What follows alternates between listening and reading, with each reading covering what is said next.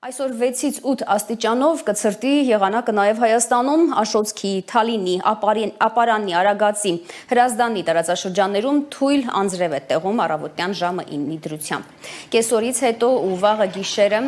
շրջանների մեծ մասում սպասվում են տեղումներ։ Շիրակում, Լոռիում, Գեղարքունիքում, Արագածոտնի, Կոտայքի եւ Վայոց ձորի լեռնային գոտիներում սպասվում է ձյուն, առանձին հատվածներում բուք կլինի։ Ճանապարհային դեպարտամենտը վարորդներին հորդորում է լինել զգոն եւ պահպան պահպանել երթևեկության անվտանգության կանոնները։